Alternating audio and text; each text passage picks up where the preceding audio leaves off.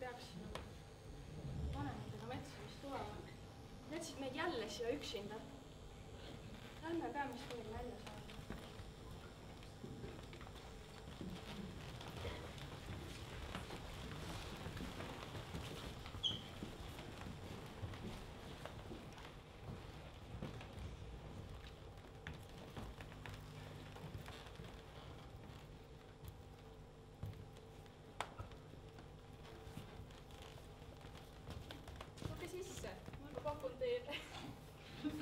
Åkte jag precis?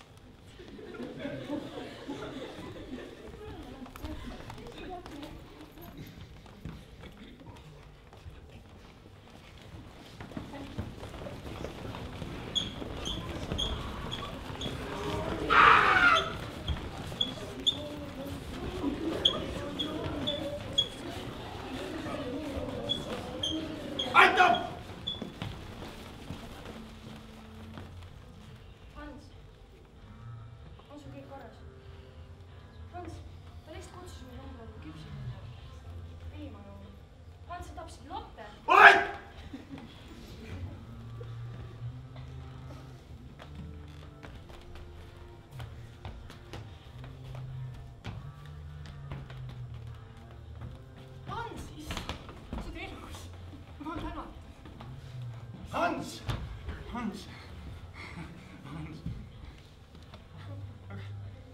kus Grete on?